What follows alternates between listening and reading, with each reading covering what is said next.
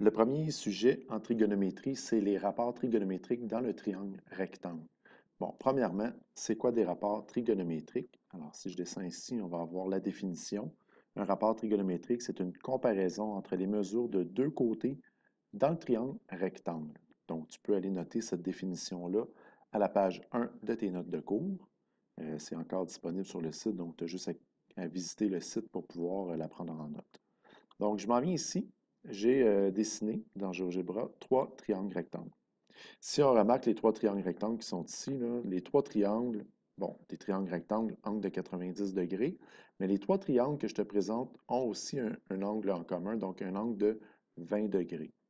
Ce que je veux te faire prendre conscience, c'est que quand je prends ces, ces trois triangles-là, puis que j'affiche les mesures, pas n'importe lesquelles, je vais afficher ici le côté opposé à l'angle de 20 degrés.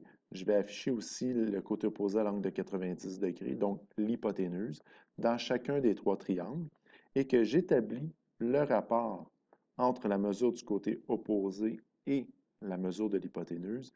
Alors, on remarque qu'on a toujours le même rapport, donc 34,2.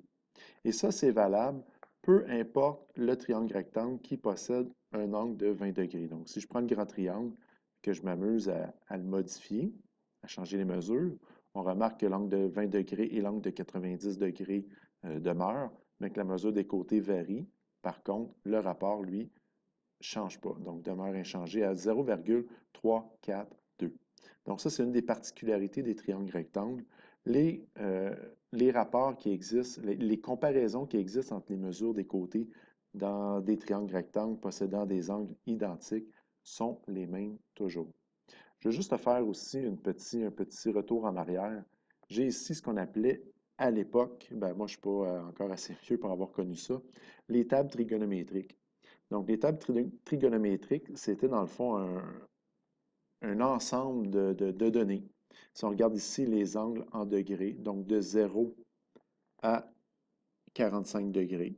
Si on va rechercher ici notre angle de 20 degrés, on remarque qu'on connaissait déjà ce rapport-là à 0,342. Donc, c'est des choses qui sont connues depuis longtemps. Euh, tes parents, je ne crois pas, tes grands-parents ont sûrement connu ces tables-là, donc ils utilisaient ces tables-là pour pouvoir effectuer des calculs dans les triangles rectangles.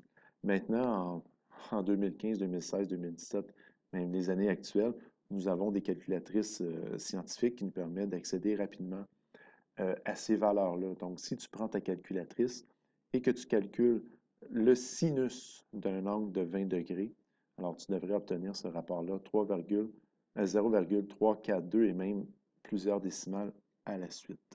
Donc, ça, c'est notre rapport sinus qui apparaît là. C'est un des trois rapports qui existe dans le triangle rectangle.